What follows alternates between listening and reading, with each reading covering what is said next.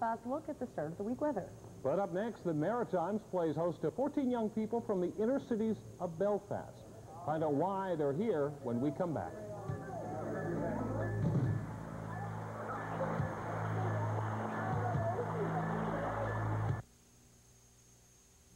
I cut out the frames for the uh, the mold, and uh, that was the summer of 71.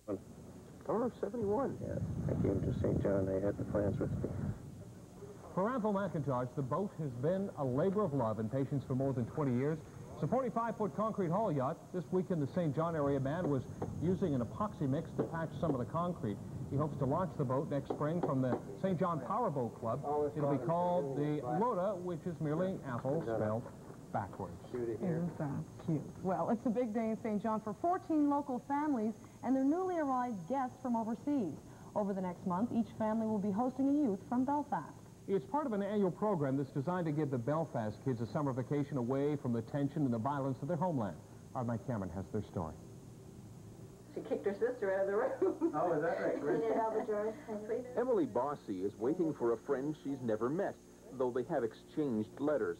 I am in Form 1, which would be year 8 in Canada. We have a lot of activities planned, like on the schedule, but we probably go biking and swimming and to the beaches.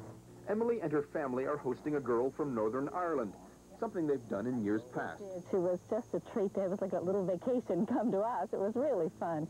I know it's English, it's not Gaelic, but the, it, there are different expressions, you know, like potato chips or crisps, and uh, all sorts of different things, and uh, it, it took some getting used to.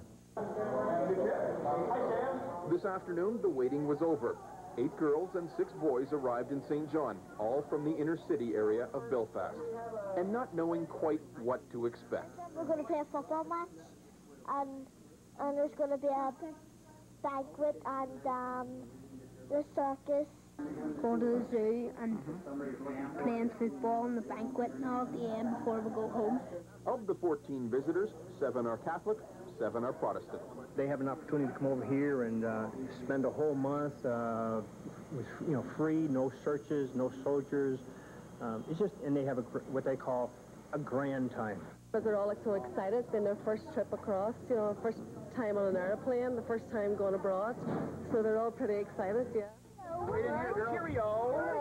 This is the seventh year that local families have hosted kids from Northern Ireland. It's become an adventure not only for the kids, but for the families, too.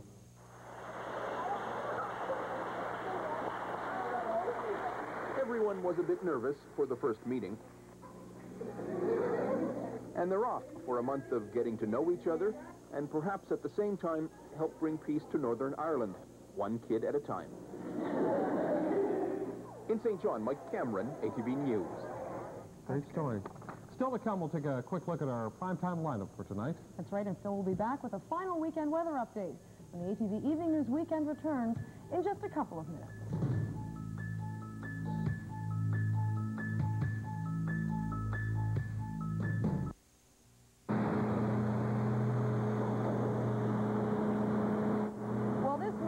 Look like an impressive scene, but what's inside certainly is.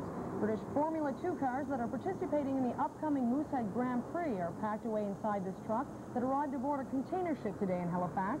Drivers and crews will be arriving tomorrow night and offloading the British F2 cars Tuesday. Now, for our last best look at weather, here's Phil McLaughlin. Phil?